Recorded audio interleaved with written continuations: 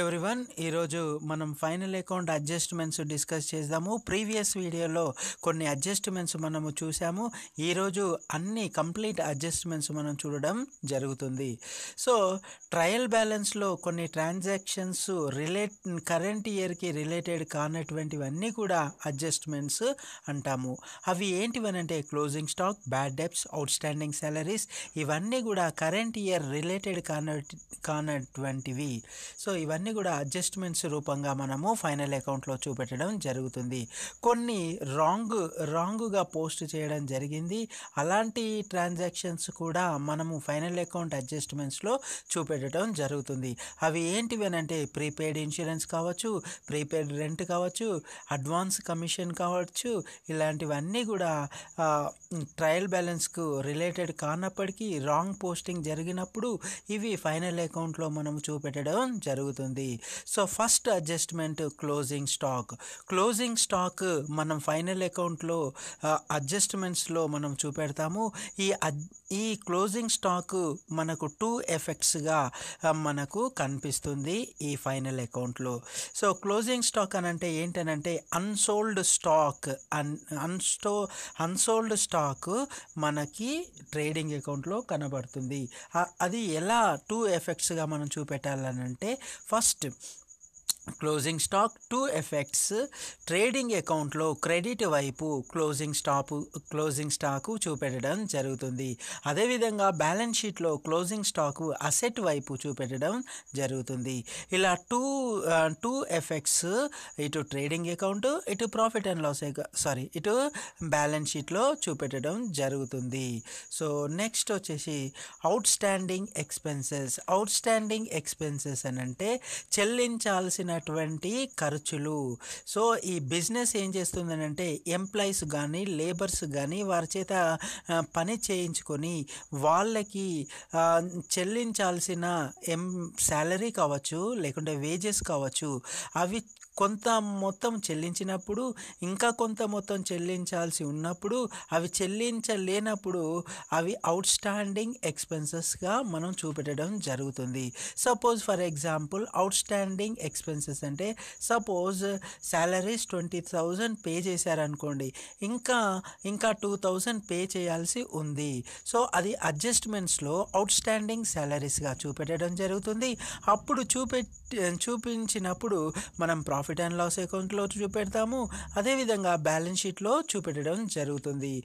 Profit and loss అకౌంట్లో debit వైపు to salaries అని చెప్తాము. అంటే చెల్లించాల్సింది చెల్లించింది ట్వంటీ థౌజండ్ అవుట్ స్టాండింగ్ చెల్లించాల్సింది ఇంకా టూ థౌజండ్ అని. సో మొత్తము ఈ twenty thousand plus outstanding అని అంటే మనం యాడ్ చేయాలి చెల్లించాల్సింది.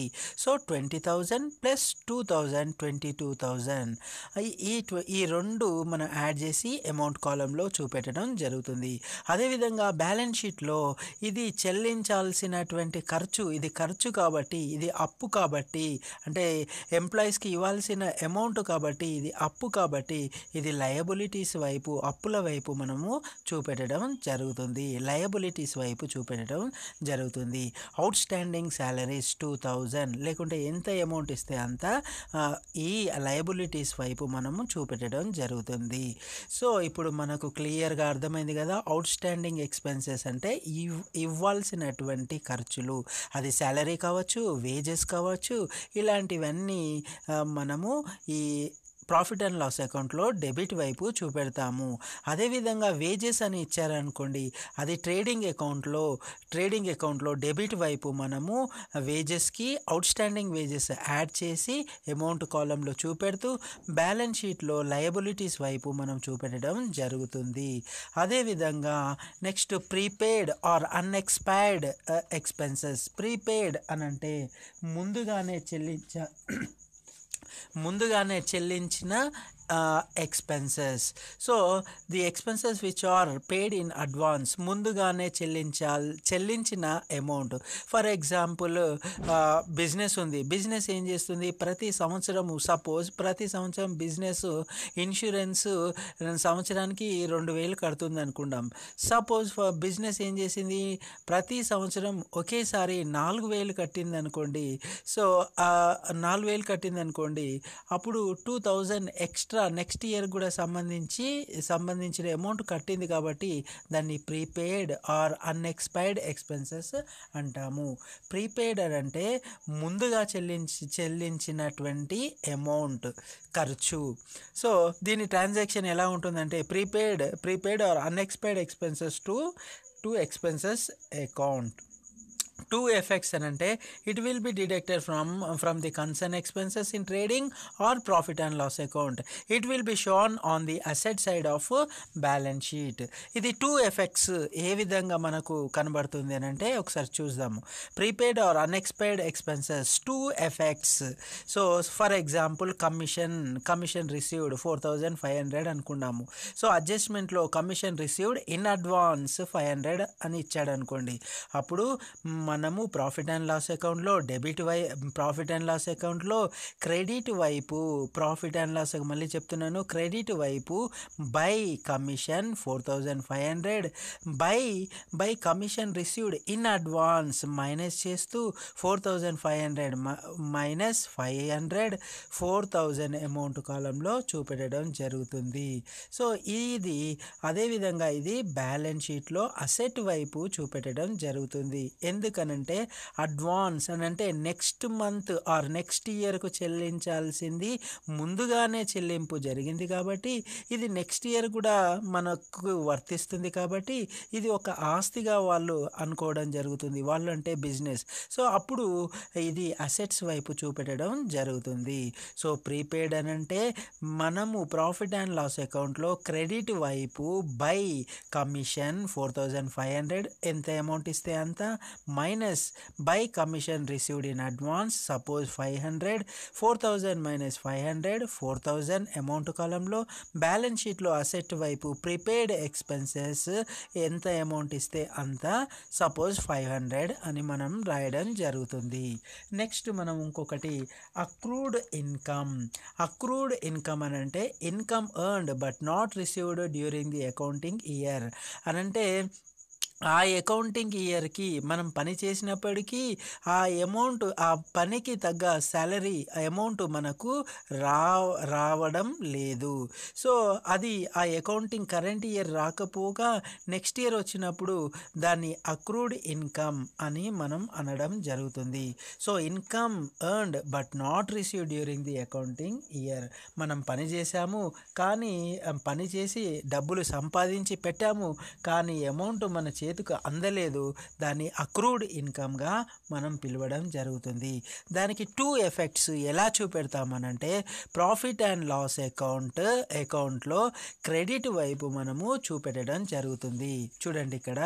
It will be added to the concern in income in profit and loss account credit side so credit side profit and loss account credit side credit side by interest received amount ఇస్తే amount plus by accrued income. Accrued income అవి రెండు add చేస్తూ amount కాలంలో వేయాలి అదేవిధంగా ఇది balance షీట్లో asset వైపు అక్రూడ్ ఇన్కమ్ అని మనము చూపించడం జరుగుతుంది. అంటే ఆ కరెంట్ ఇయర్ అతను పనిచేసిన కరెంట్ ఇయర్కి అమౌంట్ రాకపోవడము నెక్స్ట్ ఇయర్లో అతను పొందినప్పుడు అది ఆస్తిగానే వాళ్ళు గుర్తిస్తారు కాబట్టి అది అసెట్ వైపు చూపెట్టడం జరుగుతుంది.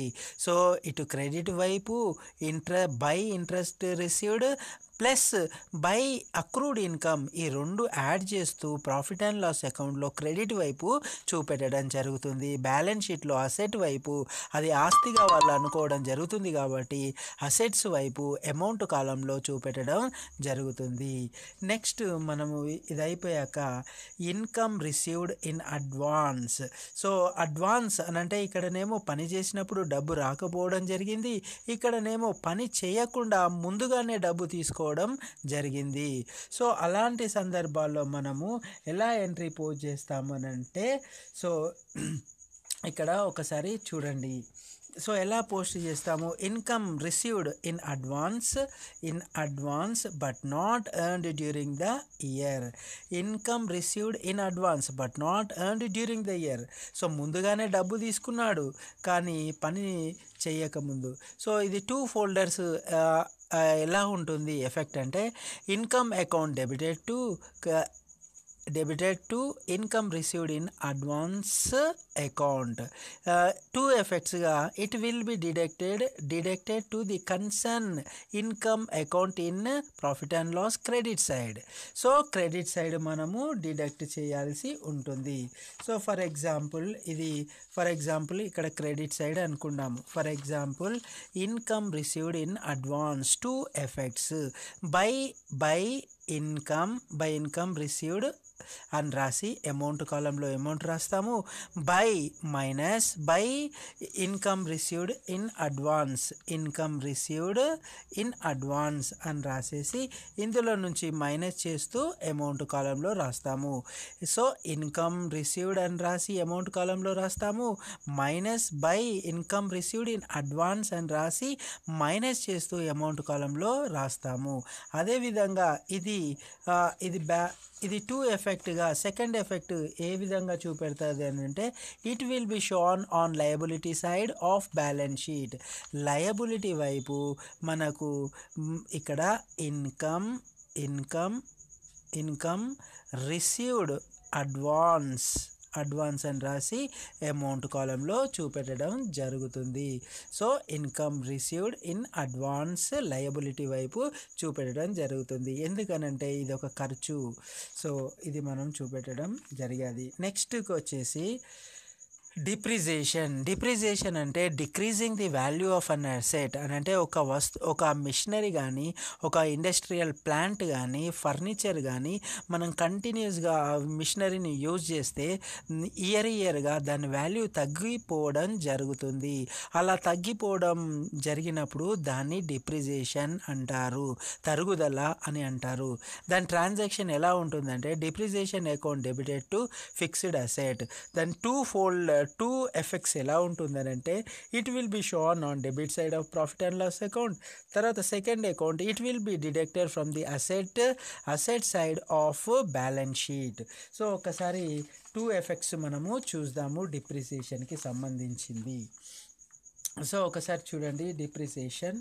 సో డిప్రిసియేషన్కి సంబంధించినది so depreciation two effects profit and loss account debit side to machinery అని ఇచ్చాడు. మిషనరీ సపోజ్ ఒక ఫిఫ్టీ థౌజండ్ ఇచ్చాడు అనుకున్నాం.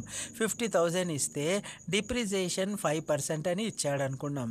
సో ఫైవ్ పర్సెంట్ ఇచ్చాడు అనుకుంటే ఫైవ్ పర్సెంట్ మనకి ఇస్తే ఇందులో నుండి మనము డిడక్ట్ చేయాలి. టూ అప్పుడు మనకి ఎంత వస్తుంది? Two thousand five hundred deduct అవుతుంది.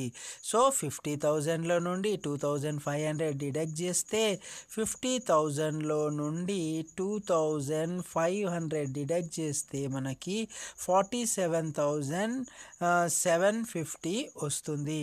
ఈ forty seven thousand two fifty balance షీట్లో అసెట్ వైపు మిషనరీ మిషనరీ అని రాసి అమౌంట్లో చూపెడతాము. అదేవిధంగా టూ థౌజండ్ ఫైవ్ హండ్రెడ్ మనము డిడక్ట్ చేసి మిషనరీ ఒరిజినల్ అమౌంట్ ఫిఫ్టీ థౌజండ్లో నుండి మనము ఫైవ్ పర్సెంట్ డిడక్ట్ చేస్తే టూ థౌజండ్ ఫైవ్ హండ్రెడ్ వస్తుంది కాబట్టి అది డిడక్ట్ చేసి వచ్చిన amount forty seven thousand seven fifty మనం రాయడం జరుగుతుంది. సో ఇది మనకు. ఇది డిప్రిసియేషన్. నెక్స్ట్ వచ్చేసి మనము బ్యాడ్ డెప్స్ బ్యాడ్ డెప్స్ అని అంటే ఏదైతే క్రెడిట్ బిజినెస్ ఎప్పుడైతే క్రెడిట్ సేల్ చేస్తాడో ఆ క్రెడిట్ చేసి ఫర్ ఎగ్జాంపుల్ ఒక ten thousand goods credit sales చేశాడు. ఒక వన్ మంత్ అయినాక ఒక ఎయిట్ థౌజండ్ అతను అమౌంట్ పే చేశాడు. రిమైనింగ్ టూ థౌజండ్ పే చేయ చేయకుండా చేయ చేయలేని అప్పుడు దాన్ని బ్యాడ్ బ్యాడ్ డెప్స్గా అనడం జరుగుతుంది. జరుగుతుంది సో బ్యాడ్ డెబ్ట్స్ అని అంటే అమౌంట్ రీకవర్ కానటువంటి అమౌంట్ని మనం బ్యాడ్ డెబ్ట్స్గా అనడం జరుగుతుంది. అది టూ ఎఫెక్ట్స్ ఎలా ఉంటుందంటే it will be shown on debit side of profit and loss account debit side of profit and loss account it will be deducted from from sundry or on asset side so ఇప్పుడు మనము అది ఎలాగ చూపెడతారో bad debts అన్నది చూద్దాం. Bad debts two effects profit and loss account debit side to bad debts అనే amount amount చూపెడతాము. అదే బ్యాలెన్స్ షీట్లో వచ్చేసి సన్రీ డెబిటర్స్ నుండి ఈ bad debts two thousand five hundred deduct చేస్తే సపోజ్ ఇది ఫిఫ్టీ థౌజండ్ అనుకున్నాం two thousand five hundred depreciation అనుకున్నాం అప్పుడు ఫార్టీ సెవెన్ థౌజండ్ సెవెన్ ఫిఫ్టీగా మనకు అమౌంట్ రావడం జరుగుతుంది. So two effects bad debts ఈ విధంగా చూపెట్టడం జరుగుతుంది.